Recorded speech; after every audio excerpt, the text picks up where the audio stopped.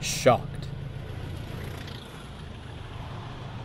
It's degrading, James moaned. What is? asked Edward. The Fat Controller promises me the express, and what happens? We're confined to shunting. That's what. Gordon and Henry certainly appreciate it, replied Edward. Besides, I don't mind. you wouldn't, James sniffed. But I'm tired of it. Thomas getting a branch line doesn't mean the rest of us should suffer. I was meant to take a goods train along the main line, smiled Edward. But if you really need a change. With how broadly James grinned, you'd have thought the grimy trucks were gleaming coaches. Beyond the top of Gordon's Hill is a place called Kildane. When built, it was just another station on the main line. Recently, however, a new branch line had been constructed, turning it into a junction. Normally, James flew past the station. Today, he had to leave some trucks there. As he drew to a halt, he took in the full scope of it. The rails snaked into the horizon, bound for the towering mountains. Thick black wires were suspended above the line by poles. Save for a faint, far-away hum, all was silent. My, James stammered, this is charming.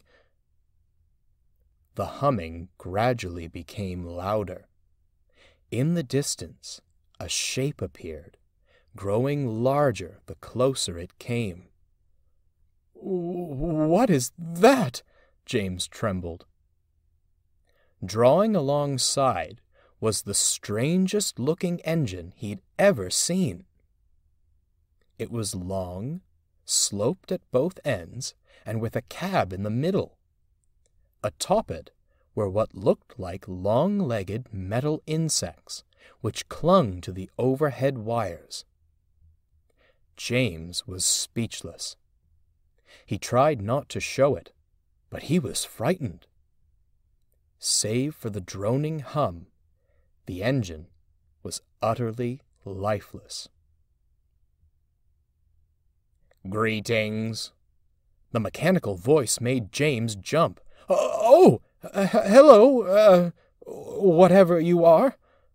Please confirm role as goods engine. I'm not just a goods engine, James fussed. I pull coaches, too. Irrelevant. Confirm previous query. Fine, James gritted. I suppose I am your goods engine. Analyzing. Response accepted. Deposit trucks into siding for transfer. Without another word, the strange engine buzzed off. A mechanical engine? Edward asked in the shed that night. I swear, Edward, it was, James fretted. I've never seen anything like it. It must have been terrifying. I didn't say I was scared, James scowled defensively. Well, Edward trembled, if I saw that engine, I'd be frightened. You must remain vigilant, James. Who knows what it may be capable of? James wasn't keen on visiting the junction again. He shunted in the yard, rather compliantly, for several days. When he next ventured out with a goods train, meeting the strange engine was all he could think of. As he approached Kildane, Edward passed with his coaches, looking rather disturbed. Welcome. Please board for service to Peel Godred. James's boiler went cold.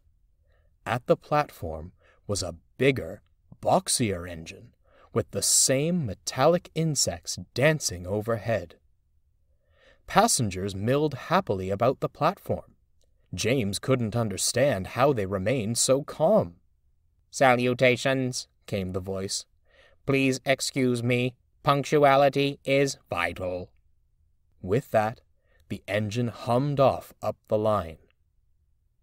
James was eager to part with his trucks, but his hopes were dashed. The station master ran up. I'm sorry, he called, but those trucks you've brought hold vital supplies for the mountain railway.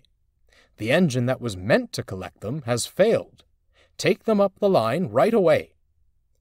Yes, sir, James replied, trying to sound as brave as he could. He was soon traveling up the line. He gulped, eyeing the wires that loomed overhead. Right, he thought. Drop off the trucks, then back down. No one, or no thing, will know I've. Wait, what's that? As he quietly approached the mountain railway terminus, he heard bickering voices. Salutations! What machine have you ever heard say salutations? I've never heard any machine say anything. Besides, you didn't tell me what I had to say. I improvised. Last time I let you go off script.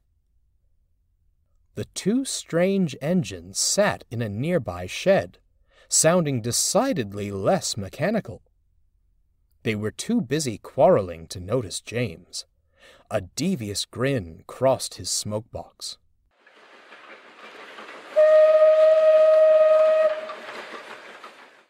The engine shrieked. Tiny showers of sparks leapt from their roofs.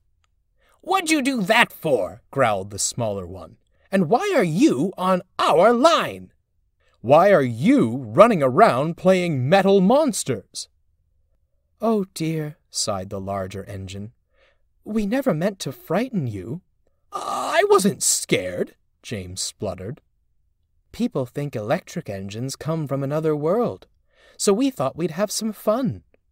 Your blue friend saw right through us. James stared. You mean Edward strung me along this whole time? There was a pause before the two engines erupted into laughter. James stared, perplexed. Perhaps we should start off on a better wheel, laughed the bigger engine. I'm Edith, and this is Eleanor. A pleasure, Eleanor smiled. What do you think of our branch? Super, isn't it? It's certainly, uh, different, James finished lamely. Do us a favor, Eleanor winked. Don't let on about our little act to the others. I've always wanted to try it on those really big engines. Your secret is safe with me, chuckled James. As he headed back down the branch line, James smiled. He was eager for the next meeting with his unique new friends. More importantly, he couldn't wait for Gordon and Henry to have a shock of their own.